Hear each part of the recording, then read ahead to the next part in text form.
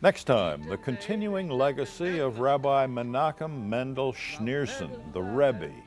Twenty years after his death, a successor still has not been named, but the Hasidic Lubavitcher movement has tripled in size. There is no other comparable rabbinic figure in modern times who had such a reach. I'm Bob Abernethy. Join us for the next Religion and Ethics News Weekly.